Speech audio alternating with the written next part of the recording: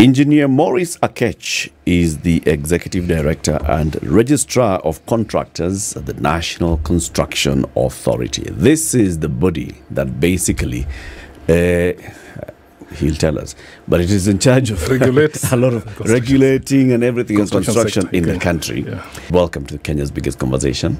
Good to have you again.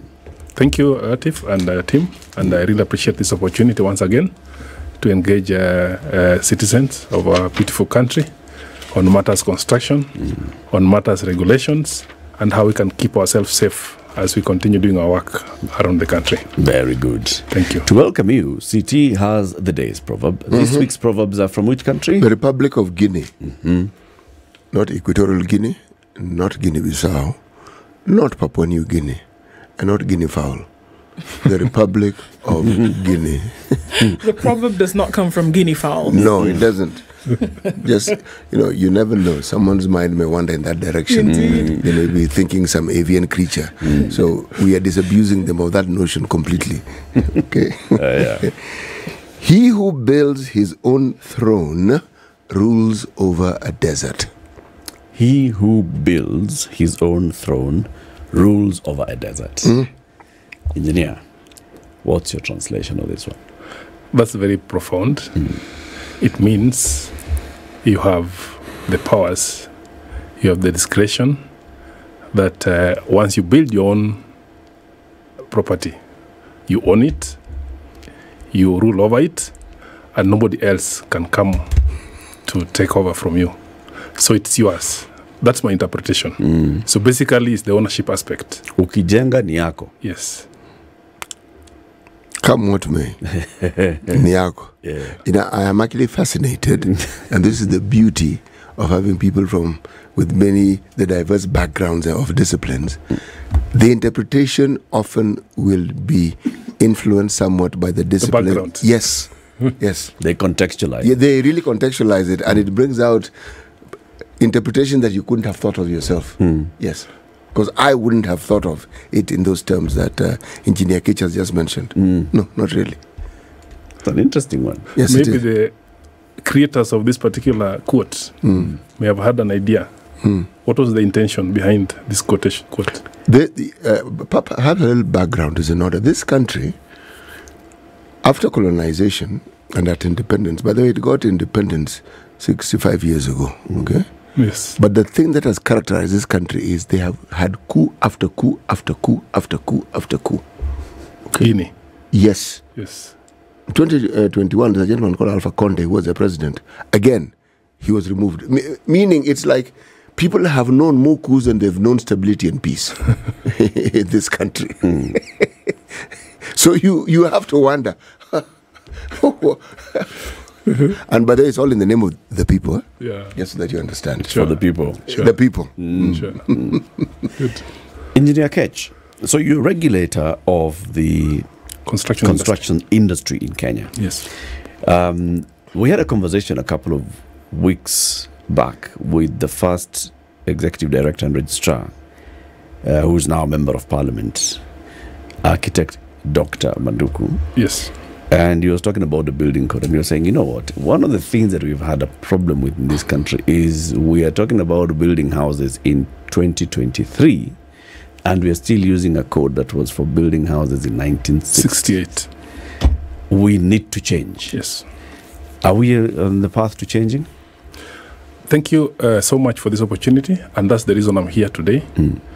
Uh, just to follow up on the conversation you had, and it's good you've given a background and the history of uh, where we are coming from and where we need to be. Currently, we're using a document, a building code, that was uh, uh, uh, uh, promulgated way back in 1968. Now, 1968 to now is more than 50 years. 50 years down the line, a number of things have really changed in the areas of materials for construction, in the areas of technology for construction, in the areas of design for construction, in the areas of construction itself as a method, and also as far as, as maintenance is concerned. So the conversation we are having here now is um, the new proposed building code that is meant to repeal the building code that was uh, uh, put up in 1968. And the new building code is uh, at now its tail end. We've been working on it for a number of years now. And uh, National Construction Authority, um, through the National Construction Authority Act, was uh, amended in 2020 March to introduce the development and uh, and uh, enforcement of the building code, meaning that the 1968 building code uh, used to be under the Local Authorities Act, which, as you know, it uh, was repealed in uh, 2012 with the coming of of, of, of um, um, the county um, county county act, this, the the county government act, Yes. 2012, that repealed the Local Authorities Act, where the building code was domiciled. Remember, a building code is a regulation, and as a regulation, it needs to have A- a- an anchor mother- act. an anchor act. So that anchor act was uh, repealed, so it lost a home. So fast forward in 2020, under the National Constitutional Authority Act, the government made a strategic decision to have the NC Act amended to introduce the development and uh, enforcement of the building code. So we started working on it around that time, though previously, of course, a lot of work had been done, but uh, there was no home. So now um, a home was found, uh, which is uh, NCA Act, and uh, we've been working on this document for uh, about two to three years now. Uh, where we have reached now is the point where we've engaged um, um, widely across the country, all the stakeholders in their built environment, within and outside. Outside includes even users. Inside means implementers and policy makers. We've also done uh, validation, and uh, the the code is basically ready. The document is basically ready, about 344 pages, with um, 517 articles, touching from when you begin, you think about construction, to when you finish and when you maintain it. Everything is inside there. And um, this code currently is uh, uh, uh, waiting to be presented to uh, Parliament. And we know we have two houses the National Assembly and the Senate, so that it can now be uh, considered or approved for it to take a legal effect. That's the stage where we are currently on. And uh, very soon, uh, we will need to see that happening. Now, why the new building code? Very important. The 1968 code um, is uh, very prescriptive in the sense that it defines what you should use without giving you option. like for instance, if you're constructing a wall, a- a normal wall for a building, it tells you you should use a stone, maybe Nairobi blue stone, even if you're building in uh, Mombasa. It says Garissa. Nairobi Bluestone. Yeah, because that was the stone that started construction those days. then it also tells you it must be this thick, uh, 200 millimeters. But those days, of course, we were measuring in feet, Nine or by inches. 12. Yes, inches. So that is how prescriptive it is. The new code is uh, very flexible and performance based. It tells you that as long as what you're using for building the wall meets these re- performance requirements, then you're good to go, which means it gives opportunity for innovators, for those who are uh, in the space of uh, materials development, to come up with any material as long as it meets those requirements. For instance, it tells you that uh, the wall must be made of a material that can give a fire rating of this much before it burns out completely, because fire may be an hazard, uh, hazardous uh, um, aspect in a construction. Yeah. It tells what, how long it should burn before it breaks down. So as long as it meets those performance requirements, it also tells you it must meet these strength requirements, how strong it should be, and so on and so forth.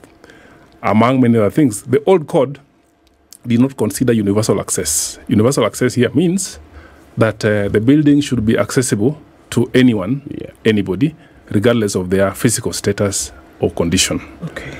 Meaning it takes care of the mm, people living with ramps. disabilities. Mm. So introduction of ramps, lifts, and so on and so forth. Mm. The other thing it talks about is the we're in the space of climate change.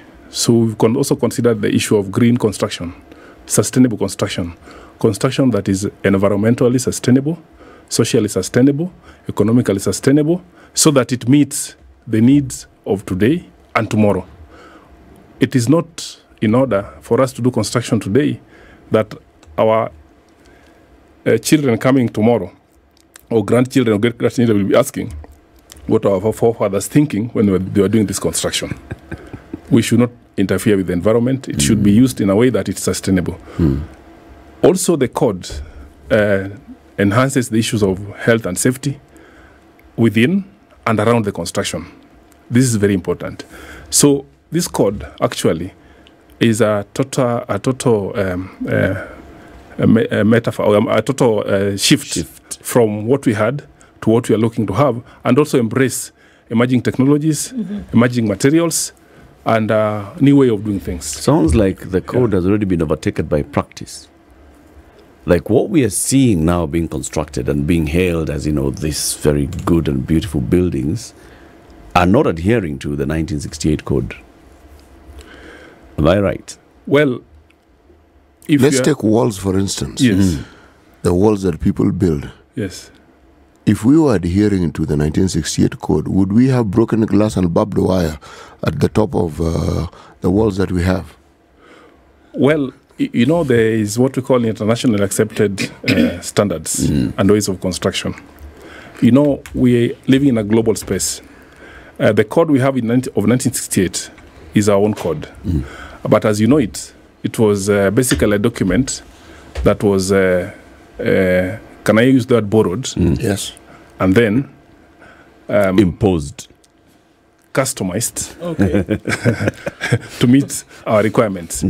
You've asked a very valid question that if you are to read today's buildings, will they pass the test of that code? The answer is it will partially pass. But many things that are not in that code, you will have to ask yourself, where do we, where, where do we, um, what's the word? How do we make them uh, become uh, compliant with what we are doing? So Yes. Okay. Yes. So if it's pa- if people are partially compliant, um, unfortunately, when something happens, it is total destruction, right? So maybe I can ask the question: Who is meant to abide by the code? The one for 1968, the 344 page one that you've now done, which I'm assuming takes in parts of the 1968 code, then with current trends and puts that all together, right?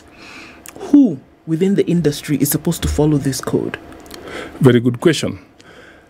Who should uh, uh, work on the code or implement the code or who the code uh, subscribes for, to? Right. Um, uh, I can answer that in two ways. The first one, let's appreciate what the code talks about. The code talks about design, the code talks about construction, the code talks about operation and maintenance.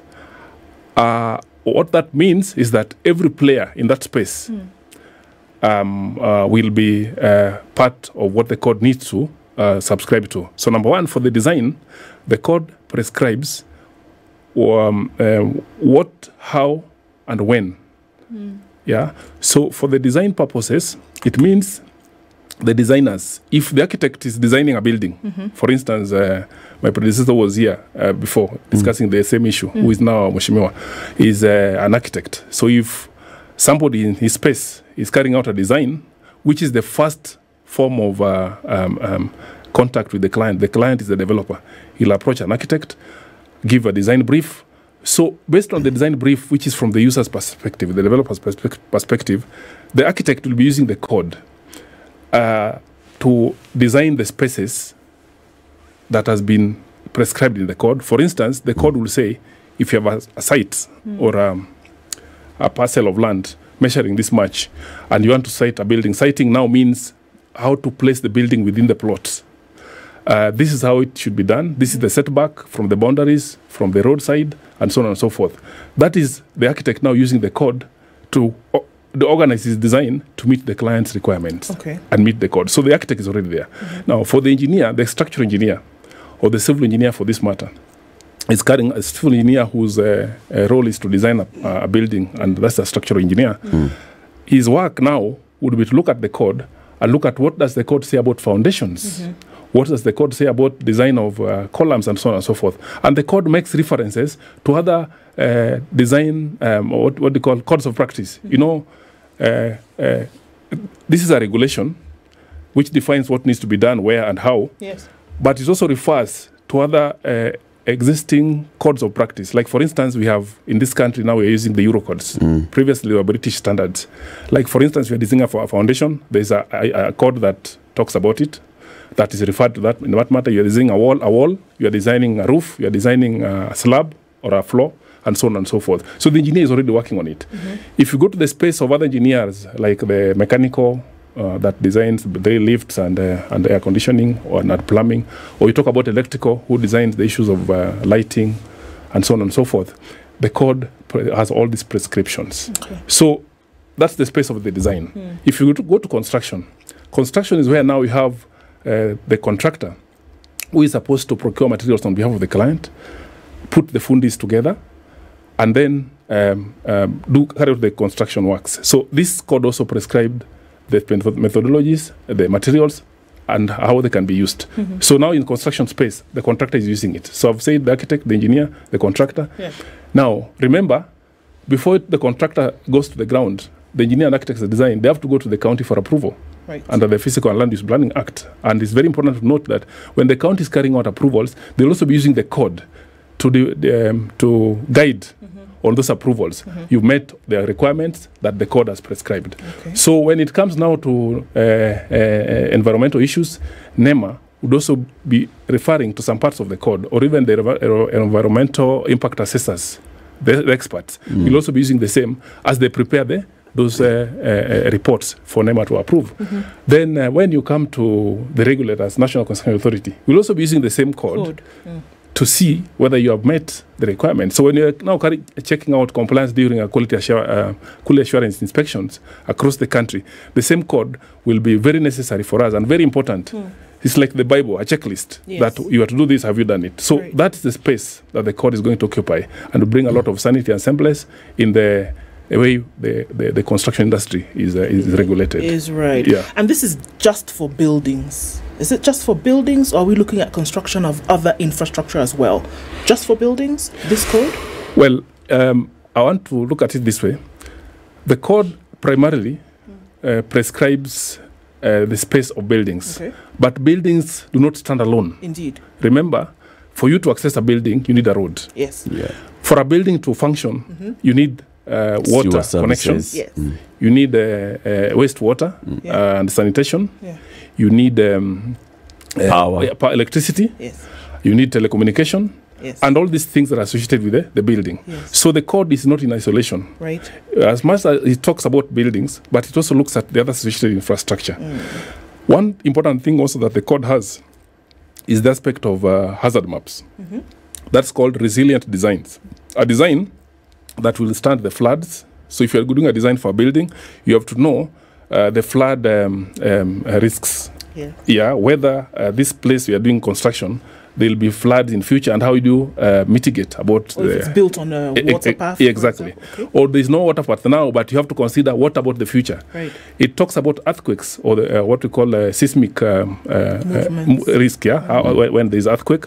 Um, and remember, earthquake is not just for buildings; it affects roads, bridges, and so on and so forth, and even dams. Okay. Uh, it talks about uh, wind. You know, and you have very tall buildings because wind is uh, uh, very important when you're designing very high li- rise uh, structures. It can be a serious risk if it's not considered. Then, lastly, about landslides.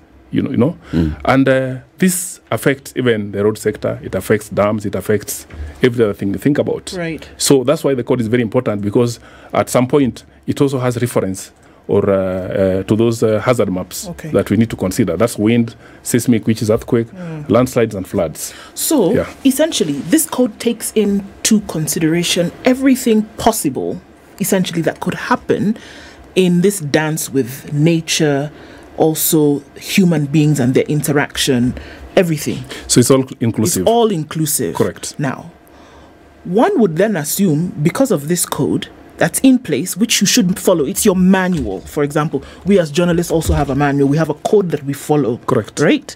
So if something goes wrong, usually they'll refer you to your code and say, Excuse me, Eric, um, this is what you should have followed, this is how you should have operated.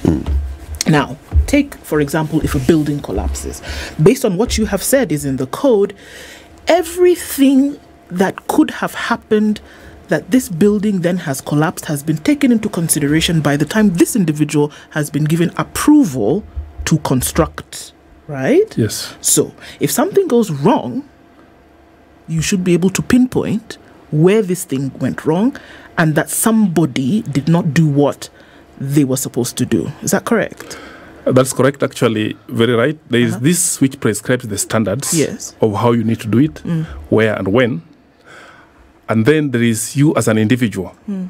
practitioner. Yes. You also have your code of conduct. Right. So there's the building code, which is the regulations, mm-hmm. and the code of conduct of the practitioner. Yes. For instance, even at National Construction Authority, we have a code of conduct for construction industry. Yes. This is different from the building, Building code. code. Yes. So the one you are actually alluding to um, uh, speaks to the code of conduct, Yes. which means the code of conduct that uh, we have at National Construction Authority prescribes the expectation of what a contractor needs to do, a construction worker. These are the people we regulate directly, Yes. and um, um, as well as uh, the developer, so that the extent that if you fail to pay your fundi as a contractor, what are some of the uh, actions or ramifications that needs to be done? If um, a fundi fails to do his part, what needs to be done? If um, a material supplier has not done his part, and so on and so forth, to the extent that this code prescribes, this this national building code is. Um, you are supposed to provide a material that meets the specifications. You are supposed to do a window or a door that meets these requirements. You are supposed to do a foundation that is ABCD and so on and so forth. Right. So there's uh, the two actually work hand in hand. In hand. Yeah. So there's a code of conduct, and there's now the code that prescribes the standards Yes. of uh, how to do things in construction. You know, engineer, in our laws, the code will come in as regulations under the NCA Act, right? Yes. Regulations have a lifespan, don't they? 10 years and Yes. then you review. So we are saying that if these regulations go through Parliament and they are approved, they'll be in effect for 10 years and then we should review them. Is that sufficient time to be reviewing a building code? In fact, very good point you've raised. One of the challenges we have we we have in the 1968 code is because it does not have uh, a lifespan of its own prescribed within itself, so it can continue to be used for quite some time. In perpetuity. Yes. uh, the new code has got uh, some safeguards in it. Number one, uh, apart from uh, the Statutory Inspe- In- Instruments Act, which guides that every regulation must be reviewed after every 10 years, the code itself has a provision of a five year uh, review period. That every five years, uh, the code will have to be reviewed to check um, um, uh, maybe some of the changes that may have occurred in the construction space in terms of materials, in terms of technology. So it's a very self uh, um, uh, re- reviewing mechanism that has been embedded in the code. So within the five year period, they'll need to have a review. But of course, within the 10 years also, it's a requirement to review it as a regulation. So those safeguards are now there and will give us opportunity and room to ensure that we periodically the, review this code to um, address uh, the changes uh, in the technology, changes in materials, and changes in construction. Because construction is a very um, dynamic uh, industry, Yeah. and things keep changing. And we want to give flexibility to innovators, to people who invent uh, new things, so that we, c- we continue moving. In fact, in the space of affordable housing, um, it benefits a lot uh, uh, by the fact that we have to do things in a different way, not using the conventional traditional methods, so that we have new materials that can be done faster. Uh, in terms of uh, speed, uh, we have materials that can meet the cost requirements and as well as uh, quality. So, to look at quality, cost, and um, and, and, and, and, and, time, then there is need to have uh, periodic uh, changes in that space to continue uh, up- updating uh, this particular code. So that's already provided for in But- the in the new code. Is five years not too soon? I mean, we've just started. Barely have you come up with a new building code. Then in five years' time, you need to have reviewed it. That means you've started conversations about it two years into its operationalization. The impact that that has on the industry would be huge because you are planning maybe a new development in a certain area, and by the time you're actually breaking ground and completing it, the building code has changed. Well, what is important to note is that even when the code changes, you know, the change is basically to update it to better standards for efficiency and effectiveness. What does that mean? Uh, even then, uh, you asked a question at the beginning about uh, whether what we are doing now uh, complies with the old code or with the code that currently uh, we are trying to repeal. The answer is that what the new code is doing is an update of what you've been doing. It's like adding on top. It like you had a, It's like what mobiles do. a human being of 100 years ago. System update. And a human so being of today is still the same human being, but maybe certain things have may have changed in terms of technology space, if I may use uh, that, that particular uh, example. So what this code, uh, the, every update will be doing for the, every five years is look at what are the new things that have come into the space, and we need to update into the old code. So basically, it's an update. It's not a total overhaul Okay. Update from time to time to keep it in tandem with the new changes that will be happening. to fix the bugs. If at the time of uh, the review there is no change, then you say ditto. Yeah. But of course, it will be very hard not to find a change because, uh, as I told you, things are very dynamic. Yeah. Very, very dynamic. Engineer, where the problem arises, I have three questions I want to ask you, but I'm just I just want to comment on this one. Yeah. Every five years we have an election. And the unfortunate thing about this country is every time you have new leadership, they will come up with some newfangled ideas about everything. and and the building code will not escape their notice. I- That's just a by the way. Now, question number one How does the association that you head, how does it interface and how does it work with the association of planners that we have in this country or the planning institutions, the planning bodies, whether they're urban planners or they're physical planners? How do you associate with them? How does your work um, dance in tandem with, with, with what they do? That's question one. Yes, I'd like it answered before I go to question two. Thank you. Uh, well, National Construction Authority is uh, mandated to oversee and coordinate the development in this uh, of construction industry in this country, Kenya. Um, as a regulator, we do not operate in a vacuum. We do not operate in isolation. In fact, we work uh, uh, very collaboratively with all the other players. And for your information, apart from the planners you have mentioned, we planners actually the starting point when you don't do a building because they must plan and uh, uh, prepare the architectural architect must come after the planning has been done to prepare the, the architectural plans for purposes of development control permission to be obtained from the county for where development is supposed to take place. We also have other 12 other players very key in this sector. So even the architect that is doing the design is being regulated by the board of registration of architect and quantity surveyors, BORAQS. The engineer who is supposed to prepare the uh, structural designs, the civil engineer in this case, is regulated by Engineers Board of Kenya, as well as other- engineers in that space.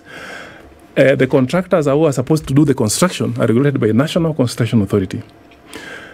The skilled construction workers and site supervisors who are supposed to be doing the actual work, these are the people employed by the contractors, are also regulated by National Construction Authority.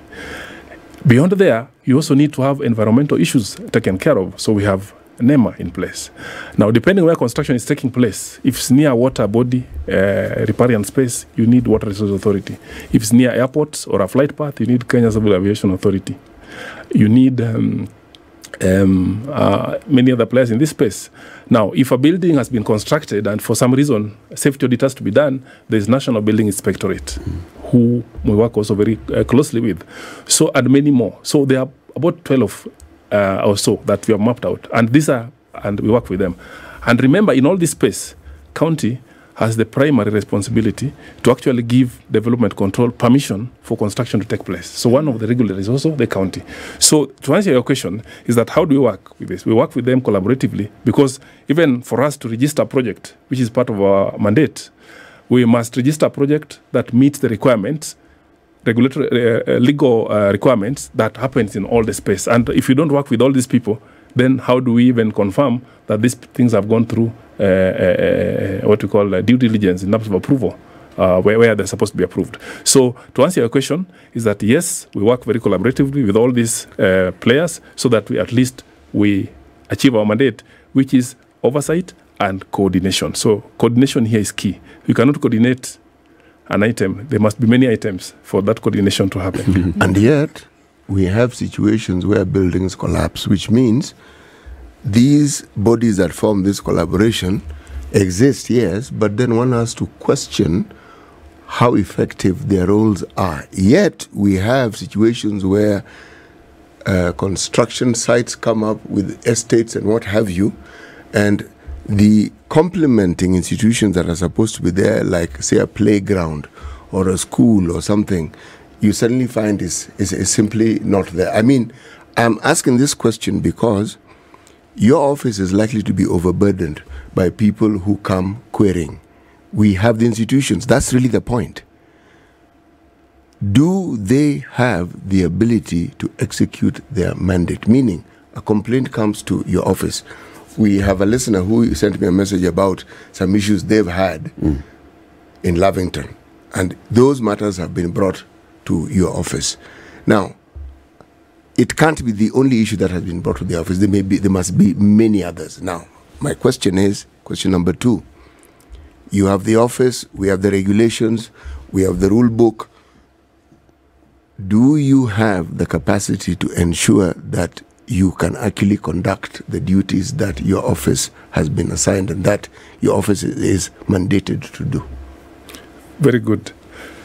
So we know we have uh, many institutions, as you have put it, and we have our distinct roles, and uh, we have our strengths and capabilities to deliver our mandate. But just as you put it, if we all keep working separately, then all these issues are bound to occur. So, what have we done as a National Construction Authority? What we have done, we have reached out to all the players in this sector, and we have um, come up with what we call a multi-agency approach. And I'm happy that uh, this approach is being embraced um, uh, by many institutions, so that we work as a team, so that we end up with what we al- almost call a one-stop shop, Shop. if you may call it. And this is now really helping to uh, to to bring all our uh, unique strengths together to work uh, towards a common objective, so that if my role is to uh, regulate contractors, uh, register projects, accredit construction workers and site supervisors, as well as, well as uh, carry out quality assurance inspections. And I know there are also other players in the same space. We work jointly and collaboratively so that we do it as a team. You know, there is an aspect which is, can be called fatigue. You know, when today NC is on your site, tomorrow is the county, the other day is NEMA, the other day is, you know, it becomes you as a developer, you start You're asking. like uh, you know, these people, You surely. Yeah. have other places. It's like you're sending each other. Yeah. So so what we have done now in this space is to actually work together, also share information as much as possible, and have periodic engagements to ensure that uh, we now work as a team. So in fact, now developers have no space to to run to or to hide because if you think you're going to hide from this particular uh, uh, space or institution, you realize already you have the information and you just deal with it on spot on. Okay. On a matter of complaints, which is what the um, the gist of uh, uh, his question was. Uh, of course, on a day-to-day, we we receive a lot of complaints, and uh, we deal with them. And when those complaints come, we also reach out to uh, the primary uh, uh, uh, uh, Entity. actors or entities to ensure that we address those complaints and we close them uh, as soon as possible. Okay. Yeah. So then, who has the responsibility for censure? Because now you are essentially, you know, um, regulating all of these folks in this industry. If something goes wrong, who then has the responsibility for censure, for uh, prosecution, investigation, all of this? Very good. Remember, we are working as a team, as a one, one, one government approach. Yes. It's, it's called the um, uh, whole government approach. Uh, what it means is that there is each player. In fact, you've raised uh, a question that is um, very important, even for the Mwananchi out there. Remember, if an incident occurs, for instance, sometimes you have a building collapsing, hmm. you know that's already a disaster. Yes. And I also want to confirm that this particular code also addresses the issue of disaster management, hmm. which is not in the old code, hmm. the code that we are trying to repeal. Now, when an incident occurs, it could be a, a, a bridge collapsing, it could be a building collapsing, it could be a trench collapsing, and so on and so forth. It can collapse at every other stage. Mm-hmm. And once this occurs, now we carry out investigations. And upon conclusion of those investigations, if the recommendation is to the extent that there was some culpability of any player, maybe the contractor, the developer, or any other player in that space, then this matter is reported to uh, reach out to the, the, the, the police department, the DCI, or the Director of Public Prosecutions for action to be taken. In fact, in some instances, for instance, when the building is still going on and we are carrying out our inspections and we find out there's non-compliance, maybe the project is not registered or there's no registered contractor or there's no issues of health and safety or is, of course, we look at the, the, the, the magnitude of the non-compliance eh, and notori- notori- how notorious it is, then we actually suspend that and we take um, uh, we press charges against that particular offender Okay. uh, in, in court uh, through, of course, the prosecution team. So we very work very collaboratively. So in terms of who is responsible, uh, it's both at individual, institutional level, and also collaboratively, so that we all um, um, work as a team and address this issue. Okay. Yeah. What if you find that the particular individual or or organization then is not uh, cannot continue with said project? Cities in the middle of construction. The who choose some. The architect has there's a flaw. No, forget about the architect. The the con- the contractor on the ground. There's something that they're not doing right. You come in as the authority. This individual is suspended, right? But this work must go on. What happens? Very good. In fact, um, many a times when we have carried out investigations and the Board of National Construction Authority has conducted a full inquiry and come up with recommendations, in many instances, some contractors have been suspended. Mm-hmm. Now, actually, that question goes beyond even the project that is under construction. Mm. You know, a contractor may have more than one project Yes. more than one site mm. by different uh, clients. Yes. Mm. So on this site is client A, and client A is the one where the contractor had an issue, and the board has suspended this particular contractor. Mm-hmm. What do we do? We do an extent analysis. Which other sites or which other project this particular contractor is carrying out is doing? So then we reach out to all the developers and inf- to the developers where this contractor is working and inform them that this is to bring to your attention that this contractor has been suspended. And for this case, this project cannot continue with the same contractor. You need to find out um, an alternative contractor to continue working if you are to continue their project. Yeah. So to that extent, that would, so it's very punitive for a contractor that has been suspended because you lose business basically. Sure. So you not want to go to that extent. So it is um, it is important uh, for the comfort of us as Kenyans to ensure that for a contractor who has been uh, suspended, you can con- not continue to do work anywhere else until the suspension period is over. You could even be deregistered. Suspension is just one of the actions that can be taken. It's a yellow card. But it can also remove you from the register, a red card. Now you cannot practice anywhere. For the Mwananchi, Yeah.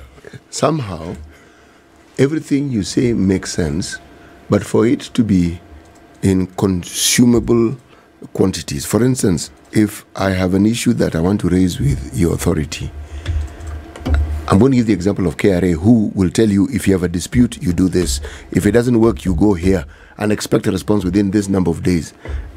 If does the authority have such a system where if somebody has a problem, they are told within five, six, ten days, whatever it is, we, we will respond to you. And if that doesn't work, do this. Do, do you have communication? Do you have a platform with the citizenry so that they can be a back and forth? You can receive information and you can give back information. Very good. Three things. Number one, we have a service charter. Mm. A service charter is what defines our commitment mm. To Mwananchi, our commitment to the citizen. That uh, if a complaint is raised, we respond within this number of days. I think for complaint, we have a three day uh, response window. And within the three days, even if just to say we have no- acknowledged uh, the receipt, uh, we've received this information and we're working on it. If you don't have the immediate uh, answer, we need to carry out some uh, additional investigation. That commitment is there to the Mwananchi. Uh, to the extent that um, somebody action has been taken against, against someone because you've raised an important point. You know, we may take action, adverse action against um, uh, one of our licensees, like a contractor, for instance, has been suspended, and they feel maybe it is not fair. Then they have a recourse. They can go to the National Construction Appeals Board. Yeah, there's NCAB, National Construction Appeals Board. The A in the NCA is not the authority. National Appeal. Construction Appeals, Appeals Board. board. So this board also looks at those who are not, um, um, what's the word, satisfied with the decision made by the Board of National Construction Authority. You can go there and appeal. It's like a quasi court.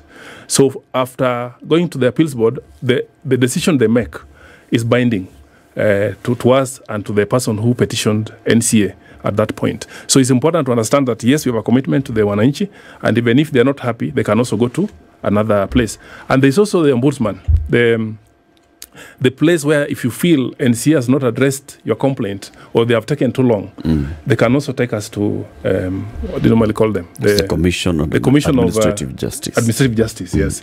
And that is where now we also checked as an institution. So a government as a whole has got so many checks and balances that I think we are bound to uh, uh, abide by. Yeah. So back to the building code as we conclude. Where is it now? Is it in Parliament? Is it going through public participation? How soon do we anticipate to have a new building code? Yes, so the building code, as we speak now, has uh, uh, uh, been fully drafted by the Attorney General's office, and we are gr- grateful for the support. Uh, we have also, we have now before we it's published by the minister, because the minister in charge of public works, that's the minister for lands, Transport. Oh, lands, minister for lands, housing, housing, urban, urban development, and public and works. Public works. um, uh, is uh, expected to gazette this, but uh, before it's gazetted, because the next stage is gazettement by the minister, but before it's gazetted, we are doing what we call um, um, um, uh, pre-publication scrutiny, which is uh, uh, um, an opportunity to engage both houses of parliament, basically the committee of delegated legislation of the Senate, the committee of delegated legislation of National Assembly, so that if we have taken them through, they may have some comments that we also need to consider uh, before it is published, so that when it goes to the floor of the two houses after publication by the minister, uh, they'll uh, consider it, and once adopted, it becomes uh, a legal document. So the stage we are in at the moment is that um, engagement of the two houses, and I want to confirm that the Senate uh, already uh, we've engaged them. They gave us uh, very good comments that are also very enriching.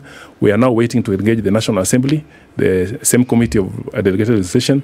Once we've engaged them, now, if there are any comments, they'll be incorporated, and then the minister will publish this document after publication. Of course, within seven days after publication, um, he'll notify the Speaker of National Assembly and also notify the Speaker of the Senate, both houses. And those speakers, uh, once they receive the two, I mean, the, the two notifications, they're expected to commit this document to the relevant committee uh, uh, uh, so that they look at it. And if they're happy, they bring it to the, the, the floor of Parliament, uh, to Parliament, two houses. If once approved, it takes a legal effect. So we are giving um, ourselves, of course, we may not have control of the Of the timelines in the- Parliament. in Parliament, But- but, our prayer is that within the first quarter, and you know, government in terms of quarters, we have first quarter is first July to 30th uh, September. Within that quarter, the space we are currently in, in terms of quarters, uh, this document should see the light of day. Okay. And the government uh, and, and the, our country will have a document that will ensure that we have we, are, we have a safe built environment. We have a built environment that is of good quality and uh, is of order and sanity. Very good. Looking forward to that. Yeah. Engineer Maurice Akech, Executive Director and Registrar of Contractors at the National Construction Authority. Let's look forward to engaging more on the new building code. This is the Situation Room, the only way to start your day.